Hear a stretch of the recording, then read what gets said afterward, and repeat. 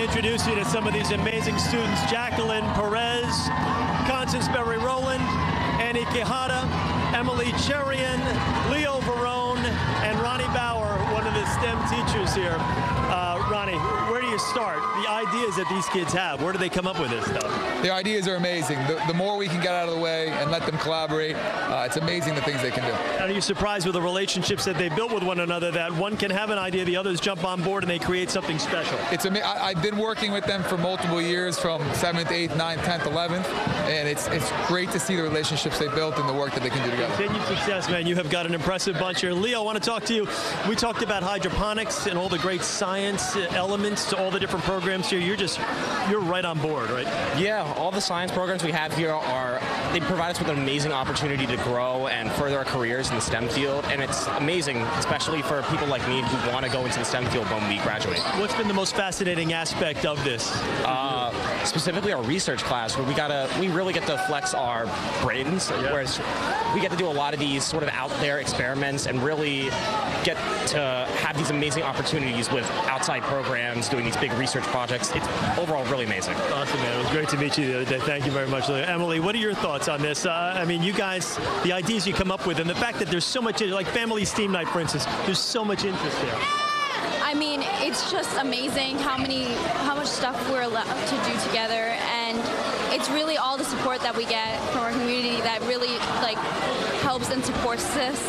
Did you ever think that, that the STEM program and STEAM Family Night, for instance, would get the, the type of attention and support that it does from not only the students but the faculty, everybody? I know. It's very worthy of that attention. We work very hard as a community to help um, help our community and kind of inspire them. That, so that you do. That you do. Thanks so much, hon. And let me ask you, we talked about the lines out the door with the little kids that see the projects you're working on. The ideas you come up with, it's pretty nuts. I mean, yeah, um, I like, you know, bonding with children. I think children are a big thing, and, you know, helping them and doing creative things that, you know, intrigue them is really important. And what's it like on a family steam night? I keep bringing that up because it's kind of like the annual prom. Uh, you've got kids lines out the door, and they're just fascinated with the ideas that you guys have come up with. I mean, it was it was really important. It was like special, you know, seeing that so many kids wanted to be in our project, and you know, it's something that we worked so hard for, and seeing kids really want to do it really made our work mean more and more. Thank you, Eddie. Constance, when I talked to you the other day, you just your, your face lights up when we talk about these science projects and all the different ideas that you guys have and these kind of brainstorming sessions. What's it like being able to collaborate with your fellow students and come up with these great ideas? It's amazing. You know, STEM is something that I feel can't be done alone, and it's so great to get to come together with them, share all ideas, and make such an impact in our community. Yeah. Um, you've got a great student body here. I, I've never seen so much support, so many kids that are so in love with the STEM programs, and, and I keep bringing up STEAM Family Night, but every time I hear about it, everybody talks about it like it's the Super Bowl.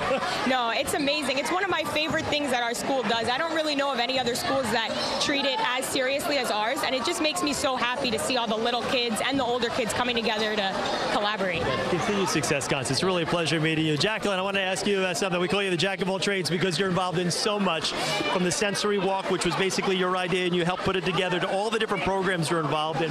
What's it like having so much responsibility at such a young age? It's just so much fun. I really enjoy keeping myself busy and just sharing like everything I do with like the community, and I think it's very rewarding.